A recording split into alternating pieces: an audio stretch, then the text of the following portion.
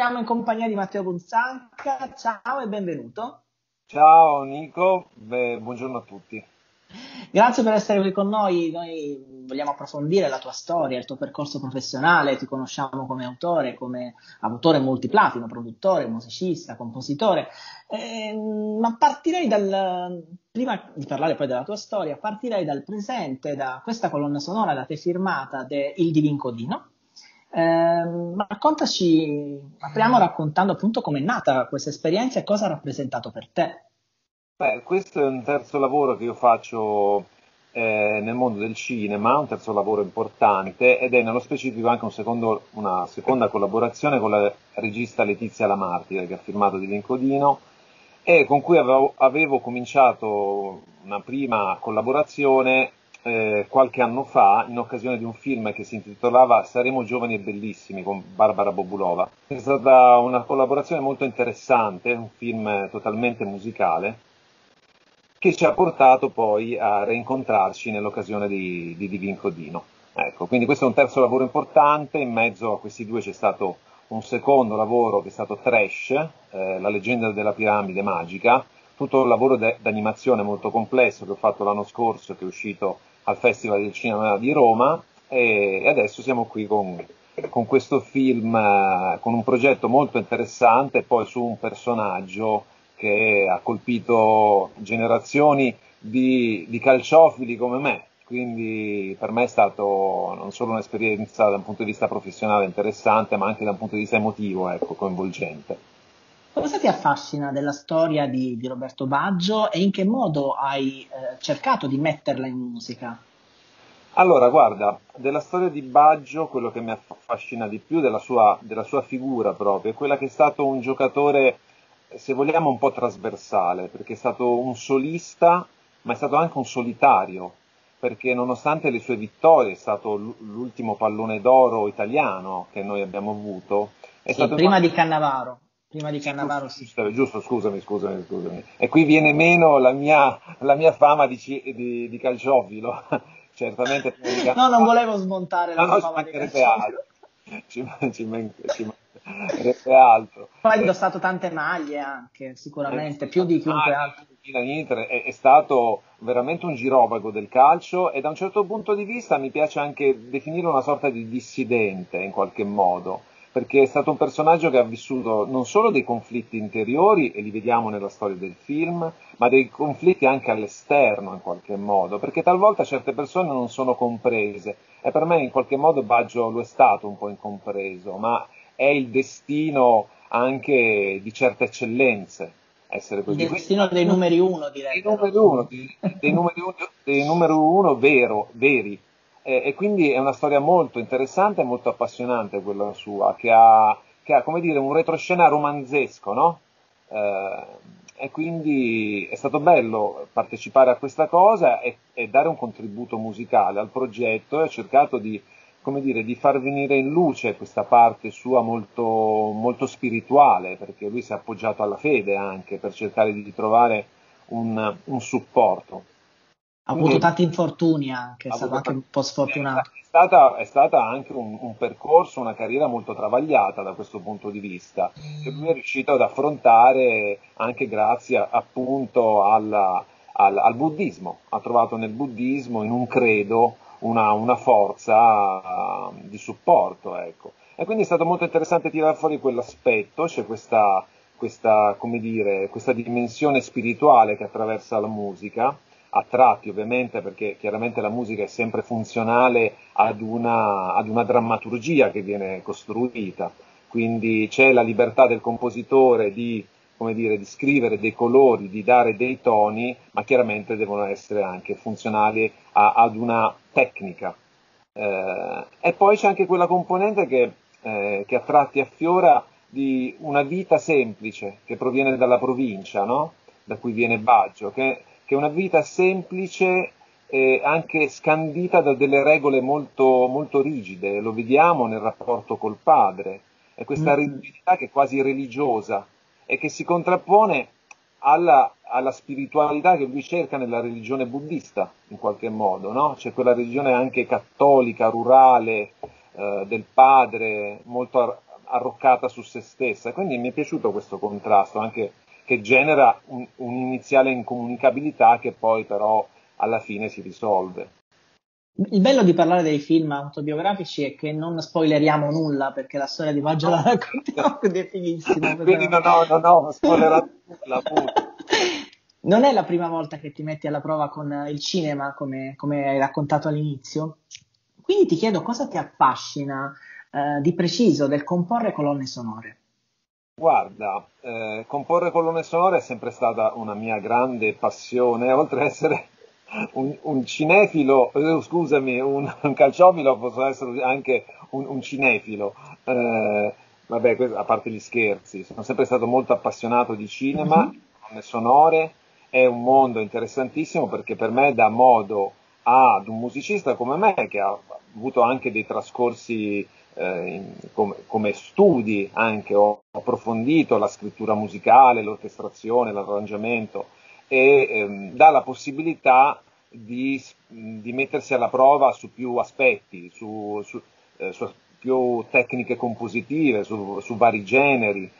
Il musicista che scrive per il cinema deve avere una cultura profonda, una cultura musicale profonda e, e questo è un grande stimolo, anche per me rappresenta ogni, ogni film rappresenta l'occasione per approfondire e per cercare anche delle soluzioni non facili e quindi per studiare. A me piace studiare, piace approfondire la musica, io credo che un musicista debba sempre studiare, però ad un certo punto ci vogliono anche quelle, dire, le occasioni che ti danno questa opportunità.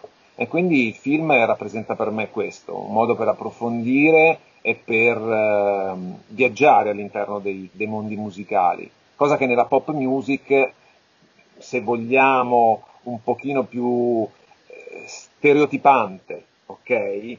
c'è meno questa possibilità. Assolutamente.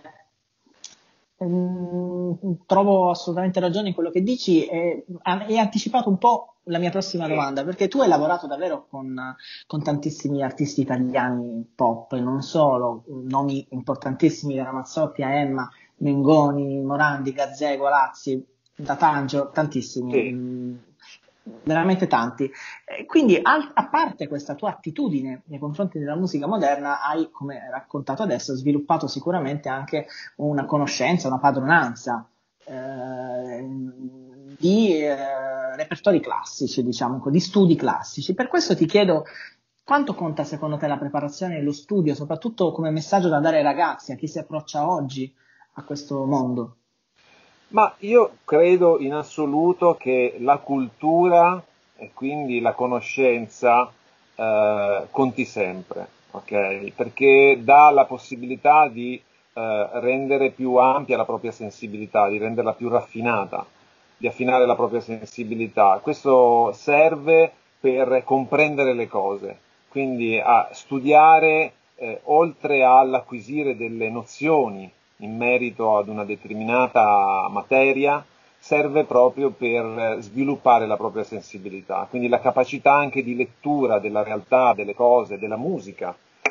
E, e, e quindi io credo che sia molto importante. Poi in questo periodo storico io capisco che la tecnologia ha avvicinato e ha reso um, alla portata di tutti eh, certe, eh, la comprensione di certe tecniche. Okay? Noi vediamo, sì. accendiamo YouTube e con un tutorial impariamo a usare una telecamera. Io che sono di, una, di, un, di più di una generazione precedente, per me per imparare a utilizzare una telecamera dovevo, dovevo andare ad un corso, magari partire dalla città in cui vivevo, che era Padova, andare a Roma e durante il tragitto magari avrei conosciuto delle persone e arrivando a Roma magari sarei arrivato in ritardo e non avrei mai partecipato a quel corso. Quindi... Tu hai avuto di, modo di lavorare anche con uh, diversi talenti emergenti, che hai collaborato con, con uh, i talent show, con X Factor, con The Voice. Um, quindi ti chiedo qual è il tuo pensiero su questo tipo di format, se credi che oggi l'affermazione di un ragazzo possa venire anche attraverso altri mondi, come ad esempio il web. Beh sì, cioè, allora la stagione dei talent ha prodotto tanti artisti, lo abbiamo visto, credo che un pochino quell'esperienza si sia usurata, e, ehm, e infatti eh, come dire, le ultime generazioni sono, provengono in maniera spontanea da quello che il web eh, ha, ha, dato la possibilità di fare. Eh, ormai, ormai, io credo che la, eh, una volta il rock si faceva on the road, no? dalla strada si veniva, ormai la strada di adesso è il web, è la rete. Uh, quindi eh, è la realtà, ma insomma uh, siamo uh, anacronistici nel, nel, parlare di questo, già io credo. Assolutamente. Per... È, è ovvio, ecco. Ok, per concludere, alla luce di quello che ci siamo detti, ti chiedo se c'è una particolare lezione, un insegnamento tra tutti che senti di aver preso dalla musica fino ad oggi. Guarda, eh, io ti do il mio insegnamento personale.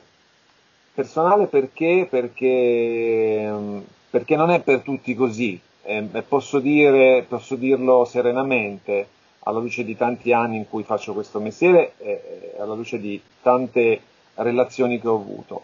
Quindi parlo solo in termini eh, strettamente personali. Io credo che la musica, per me la musica è stata una forma di arricchimento proprio del mio spirito. Eh, la musica è la ricerca di una bellezza, di una bellezza che non ha una sua forma visibile, ma impalpabile, è una forma esperienziale totalmente impalpabile che si consuma istan- istantaneamente, la musica nasce e muore nello stesso momento, no? perché si, si, sviluppa nel tempo, no?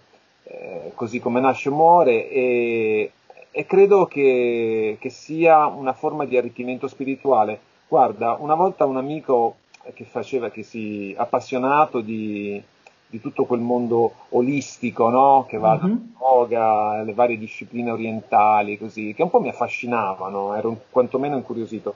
Gli chiesi se avesse potuto darmi delle lezioni di yoga, di meditazione, scusami, di meditazione nello specifico. E in questo lavoro un po' ce ne vuole, eh, per sopravvivere. Cioè, esatto, esatto. E lui mi disse, ma Matteo, ma tu la tua forma di meditazione io vedo che già ce l'hai. Quando ti metti al pianoforte a comporre, quella è già una forma di meditazione. Io credo di, che... Di trascendenza, assolutamente. Io credo che ti basti quella. E allora lì sì, avevo capito, ero d'accordo, perché in effetti, almeno per me, ripeto, per, per come la concepisco io la musica, eh, e per eh, l'amore e la, l'empatia che ho, eh, rappresenta una forma di, di, distacco anche, se vogliamo, sano, ecco, da quella realtà talvolta inquinata della vita. Ecco. Perfetto, io ringrazio Matteo Buzzanca per essere stato con noi.